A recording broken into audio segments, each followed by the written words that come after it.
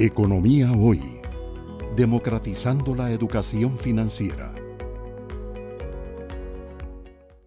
Gracias por estar con nosotros en un nuevo programa de Economía Hoy, democratizando la educación eh, financiera. Eh, para mí es un gusto estar hoy aquí eh, con el gerente general de COPE Alianza, el señor Francisco Montoya, quien es un contador público y que cuenta también con una maestría en administración con énfasis en finanzas de la ULACIT. Bienvenido, Francisco. Muchas gracias, don Gerardo. Muchas gracias a toda la audiencia. Realmente muy, muy contento de poder venir y compartir con este programa tuyo y sobre todo esperando que, que todo el mundo pueda recibir esta información directa de, lo que es Cooperianza hoy en día, de la solvencia y la fortaleza financiera que tenemos. Excelente, esa es la idea. La idea es que eh, nuestros seguidores y el público en general tengan mejor criterio, mejor información de primera fuente de lo que es COPE Alianza. Entonces, Francisco, empecemos por los antecedentes. ¿Qué es COPE Alianza? ¿Desde cuándo están en esto? Generalmente la gente piensa, ah, la cooperativa de Pérez Celedón. Eh, a qué se dedican, cuál es el giro comercial de Copia Alianza. Ok, tal, vez es importante. Copia Alianza es producto de una alianza, de una fusión. En 1965 se fundó una cooperativa que era Copeosani, que era la cooperativa del Hospital San Isidro. Ni siquiera se llamaba Escalante Pradilla. Y posteriormente, en 1966, se, se crea otra cooperativa, Copecel. Copecel era una cooperativa de ahorro y crédito en Pérez Celedón también, que nació la sombra de Copeagri y de la municipalidad. Esas dos cooperativas se fusionan un 22 de agosto de 1971. O sea, Copecel, fusiona a, Cope, a Cope, perdón, Copiosani, fusiona a Copecel y cambia nombre a Copelianza. Nosotros, para efectos históricos, tomamos la fecha de la fusión de, de la fecha de la fusión del 22 de agosto del 71. Estamos cumpliendo 53 años en este mes, exactamente. Posteriormente, Copelianza hace una serie de fusiones, fusiona un par de cooperativas más de Pérez Celedón, abre apertura oficinas en la época de los 90 en lo que es la zona sur, fusiona a una cooperativa de que era la cooperativa de los trabajadores de la compañía bananera Copegolfo y empieza un poquitito la expansión. A finales de los 90, la cooperativa apertura una oficina aquí en la Avenida Segunda. En la Avenida Segunda estábamos en el tercer piso donde estuvo siempre Colchones Girón. Y ahí este, prácticamente nos estuvimos. Posteriormente logramos hacer una expansión más a nivel nacional con la, con la fusión de Cope Colón. Cope Colón era una cooperativa que estaba en Ciudad Colón, una cooperativa muy pequeña. Una cooperativa, este, esa cooperativa tenía problemas financieros Posteriormente nos fuimos para San Pedro de Poás porque fusionamos a otra cooperativa de oro y crédito, Cope Corrales. Y posteriormente, creo que es en el 2000. muy buena, Cope Corrales. Buenísima esa. este, y en el 2005 era una, fusionamos, hicimos la fusión más grande que hizo la cooperativa. Fusiona a lo que es Codmani. Codmani era la cooperativa de maestros de Nicoya, tenía oficinas en Liberia, en Santa Cruz, en Nicoya y en Punta Arenas. Después aperturamos otra oficina, eh, fusionamos a Cope, a Cope Naranjo, que estaba en el cantón de Naranjo. Después fusionamos a Cope Tacares, que estaba en el distrito de Tacares de Grecia. Y la última fusión que hicimos fue, creo que en el 2015, con Cope Acosta, que tenía oficinas en San Ignacio de Acosta, en Vuelta Jorco a Cerri, que al final cerramos la, la, la, oficina porque no había un local apto, y en la, en la, fila, de, en la fila del Rosario Desamparados somos una cooperativa de oro y crédito que hemos sido supervisada desde el inicio, eh, desde el año 1997 prácticamente, donde, donde inicia la supervisión financiera. Es una cooperativa que realmente hemos adoptado, hemos logrado crecer fundamentado sobre todo en una planificación estratégica, en muy buenas prácticas, en mucha disciplina financiera, en muy buenas prácticas bancarias o, o, o de la industria. Y, hoy, por hoy, Copelianza es una empresa que tiene presencia a nivel nacional. Estamos en 35 cantones, tenemos 50 oficinas de, a nivel nacional y tenemos una base asociativa, la mayor base asociativa que tiene una cooperativa en Costa Rica Escopalianza somos una empresa de propiedad colectiva, una empresa privada de propiedad colectiva, de la cual son dueños, somos dueños 200, casi 260 mil asociados a nivel nacional. Excelente. Un buen resumen de la ejecutoria, como ven, es una cooperativa que no es de hoy, es una cooperativa de más de 50 años de estar en esta actividad de captar recursos del público para prestarlos, y por lo tanto tienen conocimiento de lo que eh, realizan. ¿Cuántos empleados tiene la cooperativa, Francisco? Nosotros somos 700 personas, o sea, 700 trabajadores a nivel nacional. Nosotros, el, el, el 90% de los puestos de trabajo que genera Copelianza se, se generan en zonas urbano-rurales, o sea, Pérez Celedón, Acosta, Punta Arenas, eh, Nicoya. O sea, solamente el 10% de la base trabajadora nuestra está ubicada en lo que es el, gran área metropolitana. Nosotros hemos sido una empresa históricamente que, que, impacta mucho la parte rural, o sea, somos, nosotros somos muy fuertes en la parte de la ruralidad. Si bien es cierto, tenemos presencia dentro del, gran área metropolitana, pero realmente eh, la, empresa es una empresa totalmente siempre que, ha funcionado muy apegada a los territorios. Eso ha sido la cooperativa históricamente.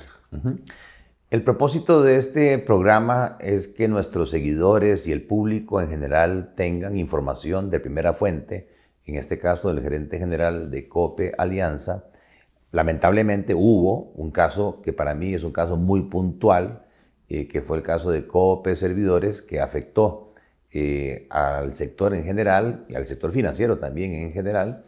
Y lo importante es ahora la transparencia y que la gente pueda entender un poco más qué es lo que hacen el resto de cooperativas, en este caso COPE Alianza, para que tengan mejor criterio y que puedan concluir que hay cooperativas muy buenas y que es seguro trabajar con ellas. En el caso de eh, Copia Alianza, vamos a hacer un repaso de la ejecutoria financiera de acuerdo con la información de la SUGEF. Eh, hemos procesado esa información y con Francisco eh, voy a hacerle una serie de preguntas sobre los resultados financieros del primer semestre de este año 2024 se estila compararlos con el mismo periodo del año pasado, primer semestre de 2024. A diferencia de una compañía industrial, agrícola, y comercial, el primer rubro del estado de ingresos y gastos o de resultados de una cooperativa de ahorro y crédito no son las ventas, sino que son los ingresos financieros. Eh, el principal giro de la cooperativa, como decía Francisco, es la colocación en crédito y también en inversiones. Entonces, Francisco, en el primer semestre se ve una ejecutoria de este año muy buena en cuanto a que el crecimiento de ingresos financieros fue de un 11%. Eh, prácticamente tenemos un crecimiento de 5 mil millones de colones más en ingresos provenientes de la cartera de inversiones y de la cartera de crédito. Pero lo importante aquí es que la mayoría de ese crecimiento viene de ingresos de crédito, ingresos financieros de crédito. Entonces, si nos pudieras hablar un poquitito, eh, ¿qué provocó estos resultados? ¿Qué es lo que están haciendo para que los ingresos financieros se comporten de esta manera? Ok, tal vez nosotros, nosotros históricamente hemos tenido una, un crecimiento de crédito de forma responsable. Hemos sido, siempre, como cualquier entidad, nos interesa crecer mucho en lo que es crédito, pero en carterita sana, en cartera sana. Entonces prácticamente nosotros mucho de lo que hicimos fue enfocarnos en colocar cartera de crédito y sobre todo buscando las carteras más rentables para nosotros. Nosotros colocamos gran parte de nuestra cartera es consumo y esa es nuestra, nuestra especialidad. Crédito personal. Crédito, exactamente, Gerardo. Crédito personal. Es el crédito histórico que ha colocado la cooperativa. Entonces nosotros durante el año anterior logramos un crecimiento muy importante. Hemos logrado tal vez en los últimos tres años un buen crecimiento en la, parte de cartera de crédito y eso nos permitió mejorar los indicadores, los indicadores de, financieros, de ingresos. También nosotros hemos sido siempre una empresa bastante conservadora en el tema de la liquidez y por eso también tenemos un robusto eh, portafolio de inversiones o sea, nosotros prácticamente ese robusto portafolio de inversiones, este, también eh, parte de los 5 mil millones que, tuvimos de crecimiento, mil fueron producto de ganancias de capital, o sea, que salimos con un título bueno y lo pudimos vender y nos, ganamos mil millones de colones en una, en una transacción. Eso también nos ha ayudado, pero sobre todo nosotros lo que hemos venido haciendo siempre es un crecimiento muy enfocado en, eh, en la colocación de crédito. Y nuestra, nuestra colocación de crédito la hemos venido modificando. Hoy prácticamente colocamos créditos en la parte, sobre todo la parte de sectores asalariados. Y los sectores asalariados en que estamos ubicados sobre todo es el sector privado.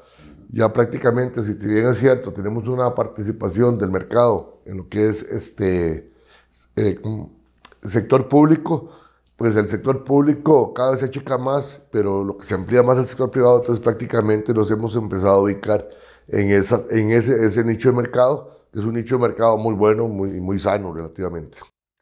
Esa eh, manifestación que nos hacía Francisco de que su estilo es bastante prudente, conservador, se refleja en los números. Si uno va a lo que se llama el balance general o el estado de la situación financiera, sí le sorprende, llama la atención que dentro del total de activos productivos, que se llaman aquellos que le generan un ingreso financiero a la cooperativa, eh, prácticamente la mitad de ese activo son inversiones en títulos valores. Eh, eso hace que la cooperativa sea muy líquida. Eh, aquí la, la, pregunta que se hace el público en general, bueno, ¿y en qué invierten? ¿En dónde está esa plata, Francisco? Claro. Sí, vamos a ver, nosotros prácticamente eh, del, del portafolio de inversiones, el 82% está concentrado en títulos de Hacienda o de gobierno. Bonos de gobierno. Bonos de gobierno y Banco Central. Bonos de estabilización monetaria del Banco Central. Exactamente. Esos bonos, pues prácticamente nosotros lo que nos genera, pues si bien es cierto, es para la, para la administración de la liquidez, pues son bonos que también en algunos momentos pueden rentar una, una forma interesante. Pero realmente nosotros, nuestro enfoque siempre ha sido, Gerardo, tener este, una, una holgada liquidez. ¿Por qué? Porque nosotros dependemos, o sea, prácticamente cuando vemos la conformación del pasivo, nosotros de todo el pasivo con costo, prácticamente la, captación representa casi un 90%, un 87, 88% del total de pasivo con costo, o sea, todo lo que es todo el fondeo que recibe la cooperativa, ya sea por obligaciones con el público, la captación y, lo que es este, créditos que le dan otras entidades financieras.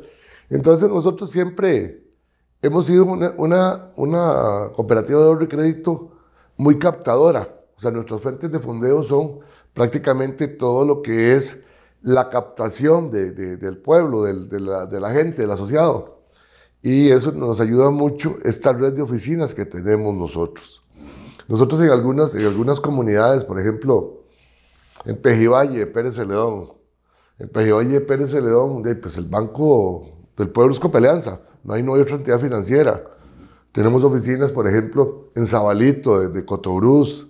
O sea, tenemos oficina en el Punta Arenas y en el Roble. O sea, prácticamente nosotros somos, somos una, una cooperativa que tiene mucha presencia en territorio y eso nos permite atraer a mucha, a mucha masa de, de, asociados, a mucha, a mucha cantidad de asociados y eso es por, por eso hemos sido siempre muy prudentes en lo que es la generación de, de nuestro, de nuestro en, nuestra, en, mantener niveles de liquidez siempre muy altos en, la cooperativa. Bien, eh, este caso lamentable de COPE Servidores, eh, parte de las razones por las cuales la SUGEF eh, intervino fueron malas políticas de crédito, mala asignación de los recursos captados del público en crédito. En vista de que estás mencionando del giro de Copia Alianza, casi 500 mil millones de colones es el saldo de la cartera crediticia. Háblanos un poquitito, eh, Francisco, ¿cómo analizan ustedes si es crédito de consumo a las personas físicas? ¿Qué criterios utilizan para escoger buenos pagadores? En general, ¿cuáles son sus políticas de crédito? Ok. A, mí, a mí, me parece muy importante ver el tema del otorgamiento de crédito. Nosotros el otorgamiento de crédito, pues prácticamente es un tema que, que, está totalmente centralizado. Tenemos prácticamente un área especializada en lo que es análisis para análisis de, de, la, de las solicitudes de crédito. Y obviamente aplicamos los criterios que se aplican, o sea, vamos con lo que es este, capacidad de pago, eh, comportamiento histórico, garantía, que son los tres elementos básicos que podríamos decir uno que es en la parte crediticia. Pero sobre todo nosotros lo que hacemos mucho es recurrir a la data, a ver el comportamiento de la cartera, cómo se te comporta esa cartera, ¿por qué? Porque con eso vamos definiendo pequeños ajustes a lo que es nuestro apetito de riesgo. O sea, realmente nosotros todos los meses eh, vamos, vamos cerrando, vamos viendo y vamos con análisis eh, totalmente, eh, podemos decir, estadísticos que nos permiten ir, ir, ajustando esa cartera. E incluso nosotros, este, por ejemplo, para efectos nuestros, los, las única, la única área que puede autorizar o que puede aprobar un crédito es el área de crédito. Cuando me llaman a mí personalmente, me dicen, Francisco, necesito que me lleves como un crédito. a ah, carambas! Digo, esto sí está complicado porque si, califica, pues se le da el crédito y si no, no, no califica, no, no le damos el crédito. Otra cosa que hemos hecho nosotros es tener claro cuáles son los estratos de ingresos mayores y eso es donde apuntamos nuestras baterías. Y sobre todo porque ahí sabemos que, que, que, que nuestras pérdidas esperadas van a ser menores, ¿verdad? Y, entonces podemos establecer algunas políticas un poquito diferenciadoras para mejorarle las condiciones del acceso al crédito a esos segmentos. Bien, en general eh, hemos estado insistiendo en este programa de la necesidad de ampliar la educación financiera de la población costarricense. Eh, lamentablemente a nivel de eh, educación primaria, secundaria, yo diría incluso universitaria, es poca la formación financiera que se nos da. Y por esa razón, y otros elementos que voy a mencionar, en general la población costarricense está sobreendeudada. El costarricense tiene una relación, digamos, de servicios de deudas a sus ingresos que supera los estándares eh, internacionales. Y en particular se hacía una crítica que algunas cooperativas de ahorro y crédito, entre comillas, abusaban de la deducción automática de la cuota de crédito que hacía el patrono. Viene la ley de usura, eh, dice aquí hay un salario mínimo que la persona necesita recibir y ahí no se puede hacer deducciones eh, automáticas de cuotas de crédito. Entonces, en general, Francisco, con ese entorno, esa introducción, ¿hasta dónde llevan ustedes el nivel de endeudamiento de una persona para que sea sujeta de crédito. O sea, si alguien tiene deudas que tiene que pagar cuotas mensuales que superan, en el caso Cope Servidores era hasta el 80% del ingreso neto de impuestos se le prestaba dinero, obviamente ahí la probabilidad de no pago era muy alta. En el caso particular de Copia Alianza, ¿cómo manejan ese nivel de endeudamiento de los sujetos de crédito? Ok, vamos a ver, en esto era parte de lo que comentaba anteriormente, o sea, nosotros tenemos que tomar los niveles de, los estratos de ingreso que tienen las personas, o sea, cuando nosotros tenemos un estrato primero, el estrato 1, que son las personas que tienen menor ingreso, que reportan menor ingreso en el país, pues posiblemente decir que se le puede otorgar un 70% de, de, de, su, de su ingreso total eh, sería imposible porque prácticamente no le alcanzaría para comer y pagar el crédito. O sea, entonces prácticamente, por ejemplo, nosotros en el estrato, en el estrato 1, puede, que es el de menor ingreso, podemos decir que lo máximo que se le podría estar considerando es que, tenga disponible un 50%, de, en el estrato 2 posiblemente sube un 60%, el estrato 3, que ya son estratos de mejores ingresos, hasta un 70%, y en el estrato 4, que ya son salarios un poco superiores, que ya ahí prácticamente no, no les afecta nunca, ni el estrato 3 ni el 4, la ley de usura, entonces pues, uno podría asumir un poco más de riesgo. ¿Por qué? Porque son gente, son personas, son asociados que tienen otro nivel de ingreso distinto y tienen posiblemente van a tener una formación universitaria mayor y mayores posibilidades de que los salarios se les vuelvan a incrementar. Entonces, prácticamente nosotros hemos hecho, hemos venido haciendo un, adecuado manejo de la cartera. Otro, otro, otro tema importante, Gerardo, es que nosotros tenemos una cartera de un riesgo muy atomizado, o sea, realmente, porque nosotros somos una cartera muy atomizada. Eh, nosotros tenemos más de 86 mil operaciones de crédito y eso, y eso para nosotros es muy importante. ¿Y el crédito promedio? Sí, el crédito promedio nuestro es de 6 millones de pesos. O sea, realmente nosotros no tenemos grandes concentraciones. Por ejemplo, los créditos grandes no nos gustan. A nosotros nos gustan los créditos chiquiticos. O sea, si nos dicen que un crédito de 6 millones, mejor nos gusta más 10 créditos de 10 millones. O sea, es que, que realmente para nosotros, o sea, nuestro nicho es el crédito, es el crédito personal. Ok. Sí, sí. Siendo crédito personal y además conociendo ya a las personas, clientes de la cooperativa, no han explorado eh, introducirse en otros tipos de crédito como la vivienda, como vehículo y otras necesidades personales? Vamos a ver, crédito, nosotros tenemos especialmente, bueno, tenemos, estamos en crédito personal, posteriormente tenemos una cartera más o menos de un 10% de lo que es crédito de vivienda.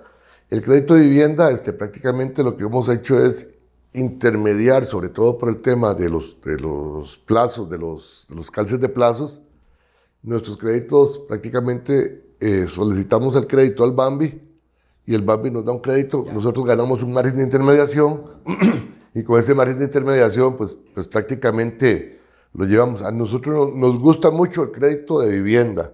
Lo que pasa que a veces el recurso, o sea, el recurso que obtenemos nosotros no es una tasa tan, tan baja como la puede obtener, como la puede brindar otras entidades que tienen fondeos distintos. Entonces, digamos, pero, pero crédito de vivienda siempre será una gran fortaleza para las entidades porque no solamente son créditos que se pagan relativamente muy bien siempre y también contribuyen al fortalecimiento de la suficiencia patrimonial, ¿verdad? Que es un tema importantísimo.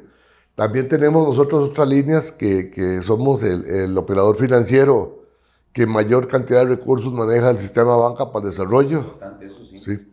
Sí, nosotros tenemos eh, con, el, sistema banca para el desarrollo este, recursos y también administramos o por medio de nosotros eh, canalizamos créditos para canalizarlos a nuestros asociados de otras entidades financieras de banca para el desarrollo. Entonces, digamos, tenemos ahí esos recursos de banca para el desarrollo y, y tenemos la parte empresarial en la parte empresarial también pues tenemos un pequeño, una pequeña área de descuento de facturas que la tenemos muy, muy analizada, pero también eso nos ha permitido ir diversificando nuestra cartera. En la parte de vehículos, pues prácticamente nosotros ahí tenemos una diferencia. Nuestros asociados, este, gran parte de nuestra base asociativa, este, es gente que, que no compra carros nuevos, sino más bien compra un carrito de segunda. Entonces, prácticamente mucho del, crédito personal que tenemos nosotros ah, también está dirigido a financiamiento de vehículos. Pero sale como crédito personal. Pero sale como crédito personal. Ya, excelente. Siguiendo un poco en los estados de resultados, eh, Francisco, el siguiente rubro eh, que en una empresa comercial, industrial, sería el costo de la mercadería vendida para una entidad que capta recursos del público, es el gasto financiero. Vemos que en el primer semestre de este año, comparado con el primer semestre del año pasado, el gasto financiero de Copia Alianza subió también. Eh, los ingresos financieros subieron un 11%. Los gastos financieros subieron un 9%. Y especialmente el gasto financiero ligado con obligaciones con el público, básicamente certificados de depósito, que como decías, de los pasivos totales, ya eh, la captación del público es como un 77-78%. Eh, hay otras entidades que utilizan préstamos eh, de bancos eh, y han venido aumentando más en términos relativos la participación de ahorro a la vista. Contanos un poquito del tema de captación, ¿cómo lo manejan? Ok, vamos a ver, nosotros tal vez podría decirte que somos, como, como cooperativa de ahorro y crédito, somos la, la cooperativa que, que, administra el mayor volumen, la mayor cantidad de, de, de ahorro a la vista. Nosotros creo que andamos más o menos unos 45 mil millones de ahorro a la vista de, nuestra cartera de, captación de obligaciones con el público. Está ahorro a la vista. Un porcentaje muy pequeño en ahorro a plazo, que son estos ahorros sistemáticos para marchamo, para y todas esas, cosas. Y el otro que tenemos nosotros es ya los, los ahorros a plazo fijo. Nosotros pues prácticamente estamos, estamos preparándonos también porque, o sea, vamos a ver, el financiamiento que hemos tenido históricamente con entidades financieras siempre ha sido muy bajo. Nosotros prácticamente no, no, no hemos recurrido a lo que es el financiamiento con entidades. Nosotros siempre hemos recurrido a lo que es la, lo que es la, la, eh, captación con el público, el, el, captar recursos. Eso pues, eh, ha sido la estrategia histórica de la cooperativa. Nosotros este año, pues prácticamente tenemos claro que, que bueno, dentro, de lo que es la estructura de pasivos y con entidades financieras, nosotros tenemos de, los ODP que dio el Banco Central durante la época de crisis, tenemos un monto de 30 mil millones de colones, entonces hemos venido tratando de, recuperar esa liquidez porque en el mes de enero todo el sistema financiero tiene que pasarle otra vez esa plata al Banco Central. Ya. Entonces, prácticamente, nuestro, nuestro, nuestro volumen de captación se viene incrementando de forma eh, pues, sostenida porque queremos llegar al mes de enero prácticamente sin, sin tener que, o sea, sin, sacrificar la, liquidez. Y, es que uno percibe que, que posiblemente en estos últimos meses del año, este, todas las entidades financieras, todo el sistema financiero, va, va a tener que recurrir a captar recursos porque hay que devolverlos, ¿verdad? Y ahí se va a incrementar también lo que es el gasto financiero, porque pasamos de un costo financiero que estableció el, el, Banco Central muy bajo allá tasas de mercado en ese mismo monto, más sí, mucho más altas. Bien, eh, hay un tema fundamental en esto. Eh, lamentablemente, aparte de COPE Servidores, hubo recientemente una financiera intervenida, financiera de CIFIN. A la hora de analizar las razones que argumenta la superintendencia para la intervención, se ve un incremento eh, radical, exponencial, en, en el gasto de estimaciones para incobrables. El público tiene que entender que siendo esta una actividad de naturaleza pública, porque maneja recursos del público, ahorro del público, por lo tanto esta actividad es muy supervisada, fiscalizada, hay leyes, hay normas. Bueno, hay una norma muy importante que emite la superintendencia que sirve para clasificar los deudores. Ya algo nos decía Francisco que a la hora de saber quién es mejor o peor paga, se analiza la capacidad que tiene con sus ingresos de atender el servicio de la deuda, capacidad de pago, se analiza la morosidad histórica en una base de datos que tiene la SUGEF y se analiza la morosidad actual. Y en función de eso, antes la 1-05 se llamaba esa norma, le decía a los intermediarios, usted tiene que clasificarlo A1, A2, B1, B2 y así sucesivamente hasta llegar a, a E. E ya era una situación de no pago, donde había que pasar un gasto de estimación prácticamente por el 100% del crédito.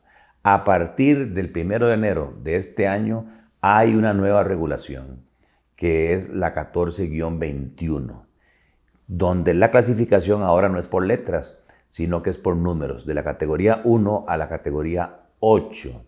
Entonces, cuando vemos el tema del gasto de estimación para incobrables de copia alianza, se ve que la cartera de crédito crece un 10% comparado con el primer semestre del 2023, pero el gasto de estimación para incobrables crece más, crece un 34%. Entonces, bien importante aquí, Francisco, aclarar a la pucha, fue que la cartera de crédito se les está dañando, se les está deteriorando la calidad de la cartera.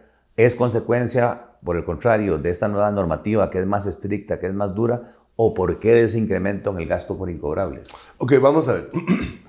Nosotros, desde enero, se aplica lo que es la 14, la 1421, que la llamamos nosotros. Esta Obviamente es una, es una clasificación más, más, más fuerte, porque prácticamente limita más cualquier, cualquier rango de acción que tenía cualquier entidad financiera. Nosotros, en lo que es lo que se denomina, es bajo esa, esta norma, la, la 1421, lo que, se lo que se determina es el gasto por estimación que se debe tener, la estimación, la estimación requerida, específica requerida. La mínima. La mínima. O sea, no puedes, o sea, puedes tener más y, puedes tener, y puede ser que, que, no tienes problema, pero si tienes menos de esto, prácticamente vas a tener un, un problema. La, estimación requerida nuestra mínima representa que es la pérdida esperada en activos, esta es un, de un 2,68. O sea, nos parece que es una pérdida esperada bastante buena. O sea, prácticamente, si uno, lo que les digo, en los que estamos en el tema de, de este nicho de consumo, prácticamente menos de un 5% es totalmente razonable. es normal un 6, un 7. Claro. 2,68 es muy bueno. Sí, sí, es muy bueno, es muy bueno.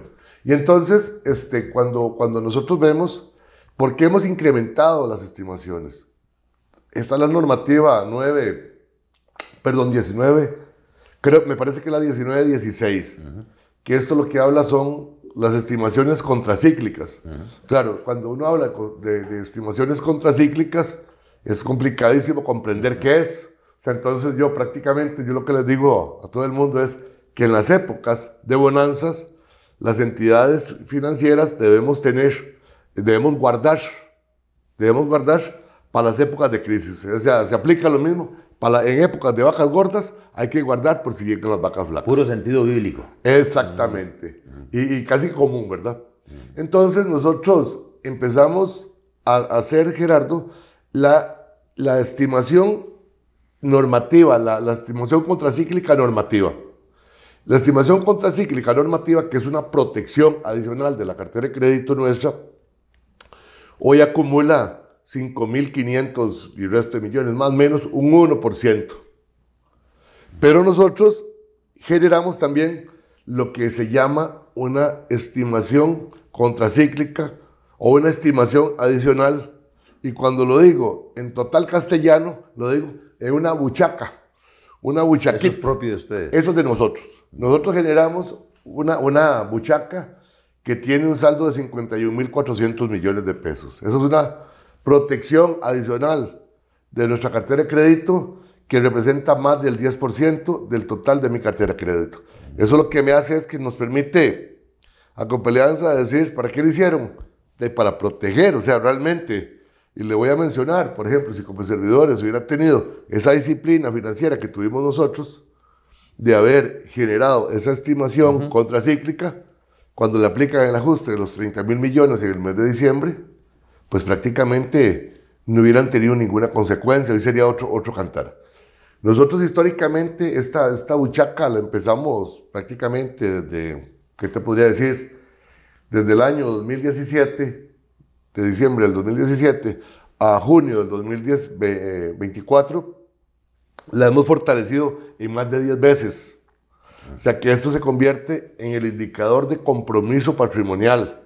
O sea, y esto es prácticamente es una práctica de, una práctica de alta disciplina para, iniciar y otra práctica que también es de, de, mucha prudencia.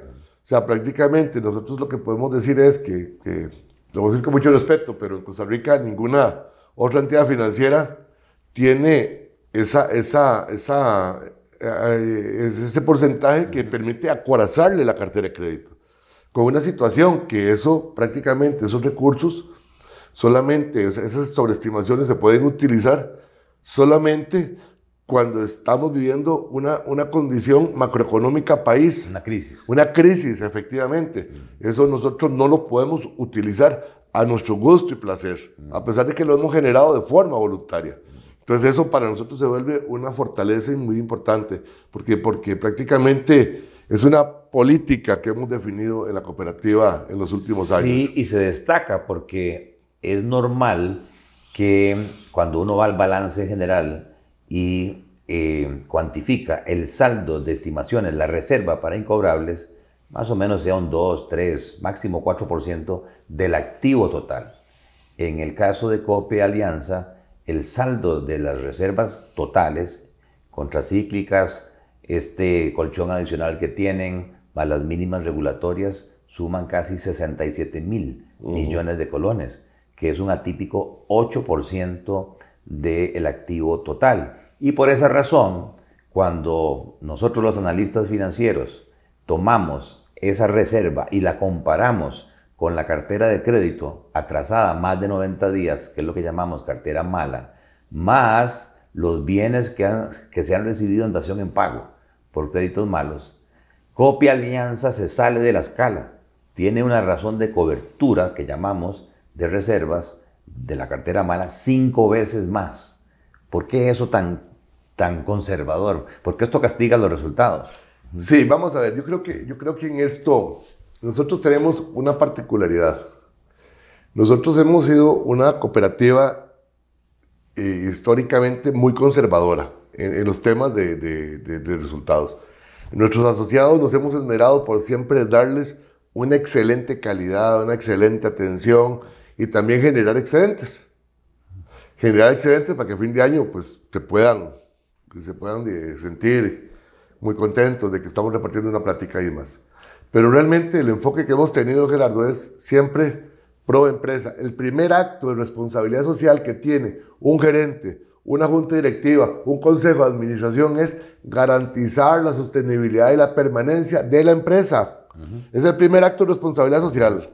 Y eso es lo que hemos hecho nosotros. Ve, por ejemplo, nosotros, si lo vemos desde la perspectiva patrimonial, nosotros del 100% de los excedentes que se generan al final del periodo, que, que ya están listos para distribuir, el 50% se destina un 25% a la reserva legal y otro, otro 25% a la reserva fortalecimiento económico. O sea, que esas son reservas no redimibles, ¿verdad? Esas reservas lo que son, son patrimonio, podríamos decir que es patrimonio institucional de Copealianza. No se puede distribuir en dividendos. No se puede distribuir en dividendos y si el asociado renuncia, se puede llevar el poquito, el, el, capital social que ha aportado, pero eso no lo puede tomar, tocar. Eso, eso es una, una, una de las primeras razones en las cuales nosotros hemos sido, hemos sido altamente conservadores. O sea, y eso me, eso me resta en la distribución. Pero también nosotros hemos logrado generar eh, programas de, de, eficiencias. Nosotros en los últimos, nosotros iniciamos, nos hicimos de acompañar una empresa que era especialista en procesos, nos hicimos acompañar por cinco años. Empezamos como en el 2016 y terminamos, creo que fue como en el 2015 o 2016, terminamos como en el 2020, el 2021 se terminamos. ¿Y qué fue lo que hicimos? Empezamos a optimizar el tema de los procesos. Cuando vos generas eficiencia en esos procesos, definimos que había mayor rentabilidad. Entonces, ¿qué, qué establecimos? Una, un poquito para la COPE y otro poquito para el asociado. Y eso lo que nos ha permitido es poder generar lo que son las estimaciones, eso que se vuelve muy importante. También otro tema que es nuestro gasto, nuestro gasto operativo a veces se ve un poquito más inflado. ¿Por qué? Porque si bien es cierto, nosotros podemos, este, en algunos casos, eh, la, la, norma nos permite que podamos diferir los gastos de intangibles en un plazo mayor, nosotros preferimos irlos, aplicando en, en, tiempo, en, plazos menores. Y eso nos ayuda a, que a tener una, una empresa totalmente limpia de, de, esos, de esas cosillas que, que, las empresas, uno dice, este, eh, es que los otros activos en una empresa, a razón de ir a, de, de, de, venderlos, no, no tienen mayor valor para otros, sino para la misma organización. Entonces nosotros prácticamente hemos venido siendo una empresa muy conservadora en lo que es y muy prudente en lo que es el, manejo del gasto, sobre todo las partidas contables, que nos gusta siempre tenerlas lo más cerca de cero, aquellas partidas que, que se van a diferir, nos gusta, entre más cerquita de cero la tengamos, es mejor, y también esa rentabilidad que hemos generado, un porcentaje lo destinamos a fortalecer la empresa y otro porcentaje para los asociados. Bien, eh, destacan los estados financieros lo que está diciendo eh, Francisco. Ya decíamos que por un lado es atípico el saldo que tienen eh, en títulos valores que le respaldan la liquidez de la cooperativa. Por otro lado, también hablábamos del saldo de la reserva para incobrables, que también es muy alto. la relación esta de la reserva a la cartera mala, la cobertura es holgada y hay un tema en el cual destacan, que quisiera profundizar un poco más, ya lo mencionabas, que es el índice de eficiencia operativa. Eh, normalmente antes se medía esto como los gastos administrativos al activo total, pero los bancos españoles empezaron a introducir el concepto de gastos a ingresos, porque se puede ser eficiente no solamente recortando los gastos, sino también subiendo los ingresos. Y en ese indicador Copia Alianza destaca no solamente dentro de la industria de las cooperativas de ahorro y crédito, en todo el sistema financiero. A mí realmente me sorprendió cuando vi un 38%.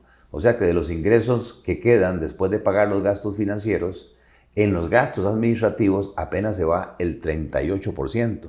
La diferencia que queda es para estimaciones para incobrables, para el pago de impuestos y para los excedentes. ¿Cómo han logrado ese indicador récord mundial? O sea, un 38% no se ve normalmente. No, yo, yo, esto, es un tema, vamos a ver, te, vuelvo, me, vuelvo a, a, repetir, vuelvo a repetir. Nosotros empezamos este, una transformación muy importante en la empresa como en el año 2015. En el año 2015, pues prácticamente lo que establecimos fue una serie de, modificamos un poco el plan estratégico, definimos ya, redefinimos la, la misión y la visión y nos enfocamos sobre todo en tres temas en la misión. En la, en la, misión sí que es generar eficiencias, valor agregado y rentabilidad. Y en eso, pues prácticamente ahí fue nuestro enfoque. ¿Qué fue lo que empezamos a hacer? Empezamos a reestructurar toda la parte de procesos.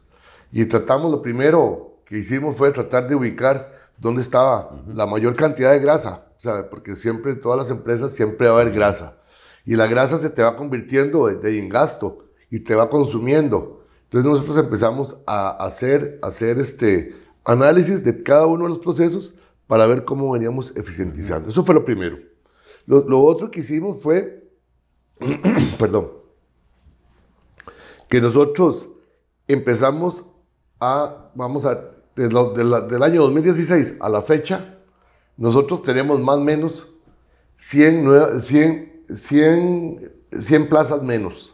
O sea, nosotros en Copalianza nunca ha sido, nunca hemos despedido a nadie por, por recortes de, de, personal, por... No, o sea, realmente en la, cooperativa es cero despidos. Eh, y, y, nosotros sin despedir a nadie, sino simple y sencillamente no reponiendo las plazas, asignando, refinando las funciones que tenían, empezamos a mejorar eso. Eso nos ayuda, nos ayudó Gerardo, también de que nosotros siempre hemos sido una empresa muy austera. O sea, nosotros no tenemos, o sea, yo te podría decir, no tenemos, nosotros no tenemos este, la empresa edificios lujosos, no tenemos flotillas de vehículos, o sea, nosotros no tenemos choferes, o sea, nosotros somos una empresa de que históricamente ha sido una empresa totalmente austera. Y entonces, y, eso nos ha ayudado a mejorar esto. Por ejemplo, este es lo que, lo que, lo que vos decís es, de cada 100 pesos que genera Copelianza en utilidad operacional bruta, 38 se van en gasto administrativo. Hace 10 años, nosotros de cada 100 pesos que generábamos en la utilidad operacional bruta, hoy eh, gastábamos 76 pesos. Eso lo pusimos, lo metimos en, en, el, en, el, en, el, plan estratégico, nos enfocamos y, y, prácticamente hoy, hoy lo hemos logrado. O sea, realmente el indicador que tenemos hoy, caramba, ese es como... Eh, como es envidiable. Sí, sí, esto es como sostener eh, eh, la punta por mucho tiempo. O sea, es, es, un, es un indicador que realmente lo que demuestra es que, que la empresa ha logrado generar eficiencias, pero también es una empresa que, que se ha caracterizado por su austeridad históricamente. Dentro de los gastos para el primer semestre del 2024, sí se observa, como dice Francisco, que prácticamente el gasto de personal no crece, crece un 1%, pero los otros gastos operativos sí me llamó la atención que crecen un 22%. ¿Por qué? Sí, eso, eso, es, eso es prácticamente lo que te contaba hace un ratito. O sea, nosotros prácticamente de los gastos operativos, muchos son activos intangibles que hemos venido generando el activo intangible no, eh, se amortiza, tiene un proceso de amortización, no, recuerdo el plazo, digamos cinco años. Entonces nosotros lo que hemos tratado de venir y esos activos intangibles, si bien es cierto, son muy valiosos para nosotros. Como, da un ejemplo para que Como, como, el, como el software. digamos, los, sistemas de información. Los sistemas de información nuestros, digamos, todos los módulos de, de, información son muy valiosos para nosotros. Pero nosotros, si bien es cierto, lo que es más usual es que cada vez que se hacen mejoras sustantivas a los software, a, los sistemas de información, esas mejoras se les capitalizan al costo de, del, software, de, los módulos, y eso lo que hace es que incrementa y se constituye en un, un activo muy valioso para la empresa, pero es intangible. Entonces nosotros hemos tratado de acortarles el plazo de, de, amortización. De amortización. Ya. Sobre todo es que es una práctica más sana, es una práctica de, de, tratar de nosotros de, tener siempre la empresa totalmente eh, afinadita en esos temas financieros. O sea, que aunque, aunque no son tan relevantes en, términos, eh, de, no son tan representativos dentro de la estructura financiera de la empresa. Una de las debilidades que yo observo es que en el mundo se habla hoy de la banca tradicional, aquella que capta recursos y los presta y obtiene un margen, que es el margen de intermediación bruta, le resta una estimación, un gasto de incobrables y tiene el margen de intermediación neto. La banca moderna es, aquella que genera ingresos por comisiones, ingresos en inglés fees, o sea, prácticamente elementos que no tienen que ver, ingresos que no tienen que ver con el riesgo crediticio. En copia alianza casi no hay. Y ahí es bien importante mencionar, bueno, si yo tengo un cliente y ya le estoy dando crédito, ¿por qué no puedo hacerle lo que llamamos venta cruzada? Meterle, ofrecerle otros servicios. Sí, nosotros, bueno, aquí, hay, este es un tema muy interesante. Nosotros, por ejemplo, si bien es cierto, nos hemos enfocado mucho en lo que es la parte de intermediación, la colocación y la, captación de recursos, en el tema propiamente de, de, la venta cruzada, pues tenemos algunos productos que podríamos decir que son seguros, autoexpedibles, asistencias, y no me acuerdo qué otra cosita. Sea, pero también nosotros hemos hecho por política de no cobrarle, más bien aquí no cobramos a los asociados por el uso de los servicios. O sea, por ejemplo, nosotros no cobramos por el uso de las tarjetas de débito ni de las tarjetas de, débito. O sea, hay muchas entidades, eh, es usual que por cada vez que, que van y retiran el cajero automático, la segunda o la tercera vez, ya tiene un cobro. Nosotros no cobramos. La membresía. No, cobramos la membresía. O sea, eso lo damos como beneficios al asociado. Incluso este, nosotros atendemos muchísima gente en lo que es este, las oficinas nuestras. Hay entidades que cobran por el, por el retiro de, dinero o el depósito incluso. Nosotros tampoco lo cobramos, Gerardo. Nosotros hemos sido una empresa que si bien es cierto, o sea, tenemos claro, tenemos claro ese, ese, ese, rubro, lo tenemos claro. Sabemos que ahí podríamos generar una muy buena facturación, pero prácticamente es una, una decisión sobre todo más enfocada. ¿Por qué? Porque al final de cuentas, si bien es cierto, nosotros somos una empresa privada de propiedad colectiva y somos una empresa financiera, al final de cuentas también obedecemos a una base asociativa que requiere siempre que se les brinde pues, beneficios en el uso de los servicios. Francisco, ahora quiero eh, profundizar en un tema delicado. Yo sufrí una corrida de depósitos el 10 y el 11 de agosto del 2004 con base en rumores infundados. Saque su plata del BAC porque a las 5 de la tarde la SUGEF lo va a intervenir. En el caso de Copia Alianza, estando reciente el tema de Copia Servidores, empezaron a surgir una serie de rumores. Y ahora, cosa contraria a mi tiempo, hay redes sociales que fácilmente se puede difundir información falsa. Entonces yo quisiera que profundizaras en ese tema, porque se hablaba mucho de que estaba mal la cooperativa, de que la SUGEP iba a intervenir, que denuncias en el Ministerio Público, etcétera, etcétera. ¿Qué está pasando con eso este, y cuál ha sido la reacción de la cooperativa?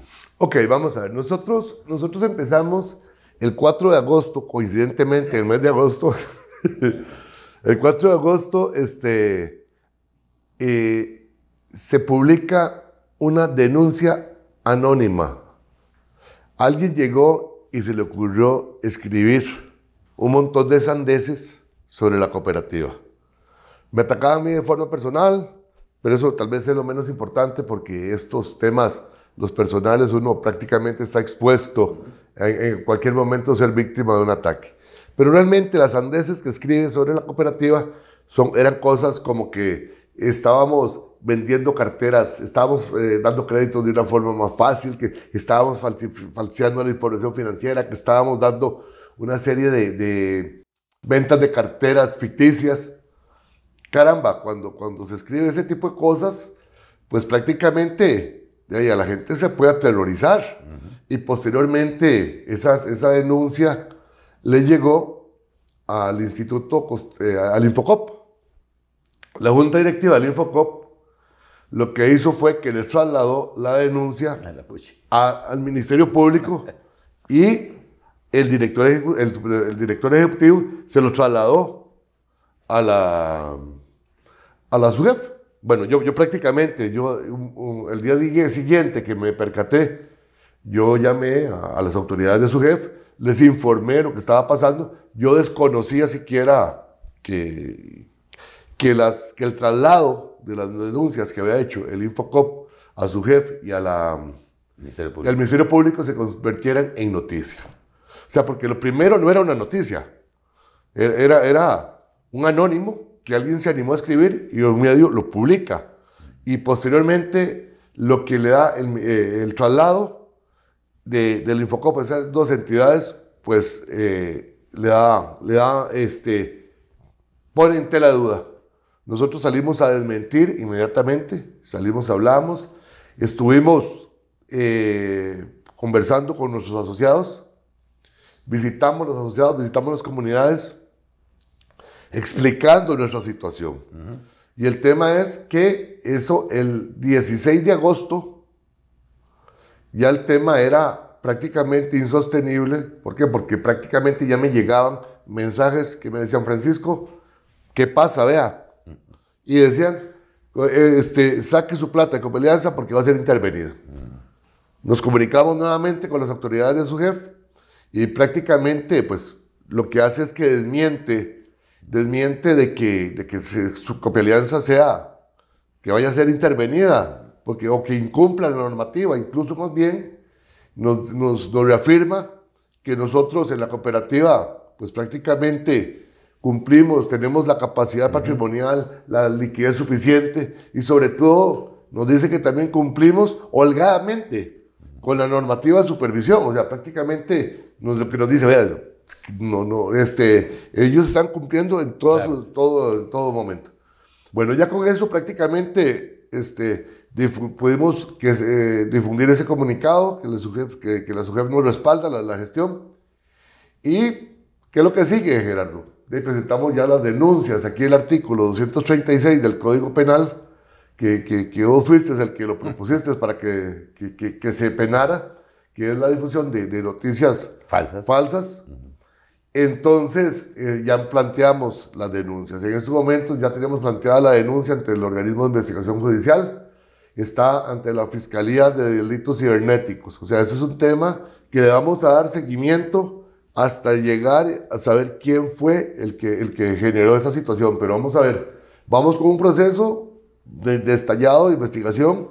Aquí hemos contratado aquí a don José Miguel Villalobos, que es un penalista muy reconocido en este país, y José Miguel nos va, de, prácticamente ha venido empujando este caso, pero sí queremos que esto no quede impune, ¿verdad? Me parece que esto este, es, es una, es una, es, es, es un, una situación que no se debió haber repetido nunca en el país. Y sobre todo, uno, yo lo que les digo a veces en las reuniones de los que, que tengo con inversionistas, con, con compañeros, con delegados y con otros grupos de asociados, es que la gente a veces eh, les llega, cuando les llegan esos mensajitos a los grupos, ni siquiera se está percatando que están, que están ante un eventual delito. O sea, porque eso es incorrecto hacerlo. Entonces, prácticamente, ya Gerardo, nosotros sí estamos muy molestos con eso, pero estamos tomando las, las medidas y, de ahí estos meses de agosto este, son, son, te pareciera que... No, me suena muy bien, este, hay que sentar precedentes, no se vale que en pleno siglo XXI haya gente malintencionada eh, tratando de desestabilizar una entidad financiera y a propósito de el nivel de incertidumbre que hay por lo de COPE servidores, por lo de, eh, de CIFIN. Así que ojalá que eh, el Ministerio Público investigue y se pueda llegar a la fuente de esta información eh, falsa que, como dice Francisco, ya tiene causa penal, o sea, causa de cárcel. Por último, este, Francisco, es muy importante, aparte de los números que hemos hablado, que hemos discutido, este, que nos hables un poquitito de la parte cualitativa y en la parte cualitativa la gobernanza corporativa. ¿Cómo está organizado la cooperativa para poder supervisar, gestionar, darle seguimiento a los distintos niveles de riesgo, de créditos, riesgos financieros, riesgos operativos, esto que estábamos hablando de riesgos reputacionales. Claro, vamos a ver, yo creo, yo creo que, que, nosotros en este, en este andar de la, de la supervisión, creo que todo el país y todo el sistema financiero nacional ha venido logrando niveles de madurez muy altas. Y eso, pues creo que, que eso contribuye siempre a la estabilidad del sistema financiero y sobre todo que hay que garantizar siempre ese actuar ético, ¿verdad? Lo más importante es los actuares éticos de, los, de las personas, de los que están al frente de las entidades financieras y de cualquier empresa del mundo. Ok. Nosotros pues, prácticamente tenemos este, una cooperativa nuestra, es una, una estructura, voy a hacerla muy simple. Nosotros tenemos una, los delegados nombran delegados a una asamblea general esa Asamblea General está conformada por 300 delegados de todo el país que convocamos, los se nombraron en como en 52, o 52 asambleas regionales. Como la Asamblea de Accionistas. exactamente es la Asamblea de Accionistas, lo que es para, para una entidad cooperativa. De esta es la que nombra el Consejo de Administración, que es el, máximo órgano que tiene la Junta Directiva, la, junta directiva la máxima autoridad que tiene y dos comités que son cooperativos, que es el comité de vigilancia, que es como una fiscalía, y un comité de educación.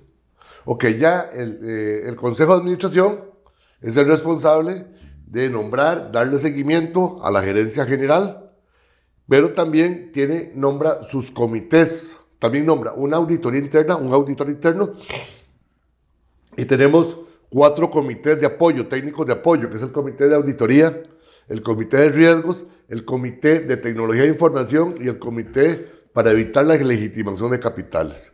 Esos son prácticamente segunda línea. Además de eso, tenemos, bueno, cumplimos, tenemos también una dirección de riesgos, es como, un director de riesgos, que esa es una dependencia directa del Consejo de Administración. O sea, estos son prácticamente la segunda línea, el comité, de, el comité, los comités de apoyo y el, la dirección de riesgos son la segunda línea que dispone la, la, cooperativa. Y dentro de esa segunda línea tenemos, dentro de la unidad de, la dirección de riesgos, tenemos la unidad técnica de riesgos y la oficialía de cumplimiento principalmente. Y por ahí anda también lo que es la oficialía de cumplimiento, pero la oficialía de cumplimiento normativo y la, y la oficialía de cumplimiento de la, de, de, de la 8204, exactamente. Y ya para ahí en adelante está el gerente. La gerencia es la que define la plana gerencial, claro. Pero para pasarlo ahí, para, para pasar, tiene, tenemos que llevarlo, que, se, que omitir dos comités, perdón. El comité de nominaciones y remuneraciones son parte de la segunda línea.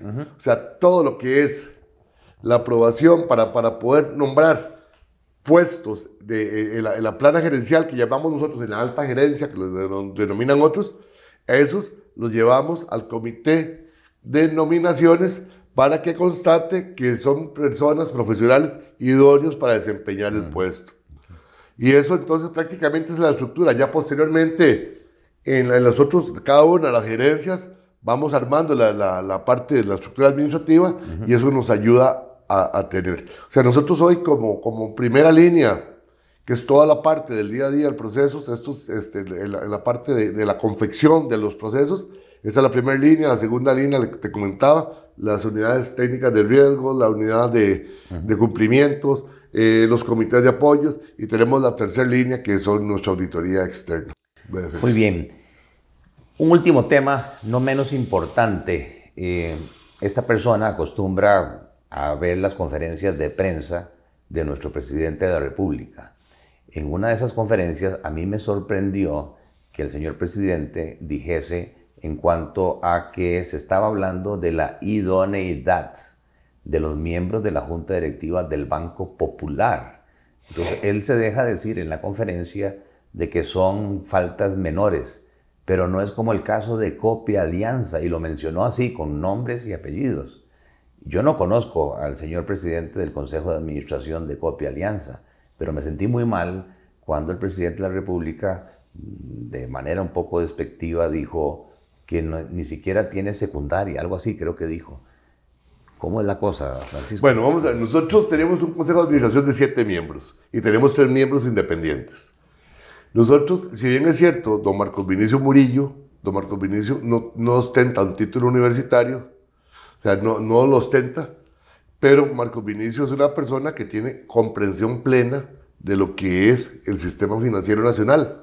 O sea, él Vinicio en los últimos, ha sido presidente en los últimos 15 años. o sea, ha sido presidente del Consejo de Administración. Tiene un gran colmillo ahí. Mira, Gerardo, yo, yo lo que le digo es que tiene una, una experiencia de 15 años de, de, ser miembro del Consejo de Administración, de participar en los procesos de planificación, en, eh, en participar en todas las decisiones de alta, de, de alta eh, de, importancia.